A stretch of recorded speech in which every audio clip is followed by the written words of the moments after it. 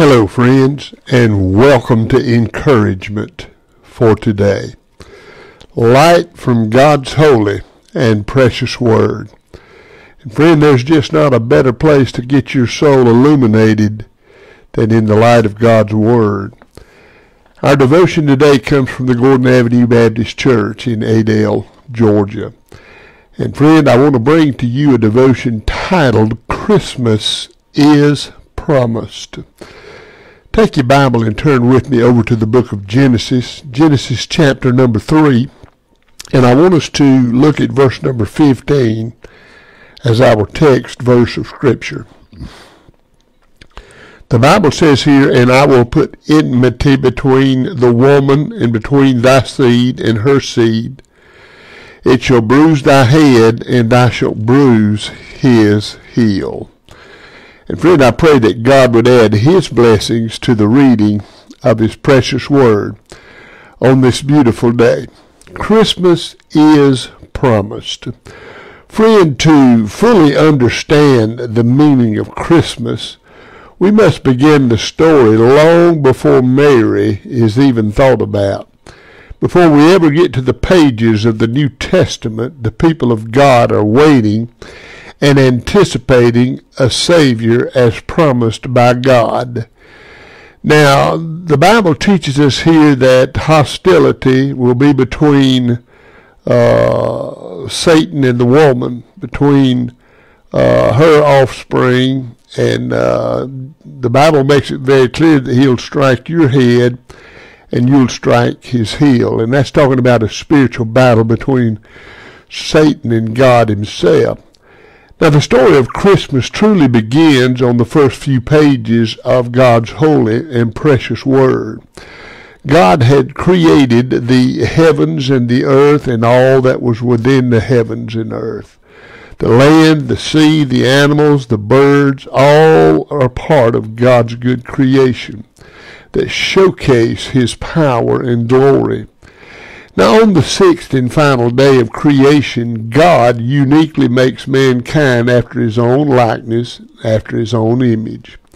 For a brief time, there is a perfect, whole, happy relationship between God and his people. But trouble comes quickly when Adam and Eve listens to the lies of Satan, the devil, and rebel against God's good command. And friends, whenever that happens, a chasm is is is built. It exists between a holy God and an unrighteous people. How will this relationship ever be restored? Well, God gives us his perfect plan in Genesis 3:15. Speaking to Satan, he says, "One day there will be a son born that will crush your head, even if you manage to strike his foot on the way down." And that son is Jesus the first mention of Christmas in the Bible. Satan may think that he's won the battle, but friend, he will ultimately be defeated.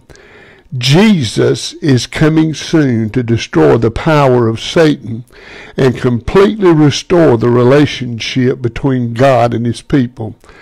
As quickly as the problem arises, God makes a way for the first Christmas to take place. And now we celebrate the birth of that Christmas.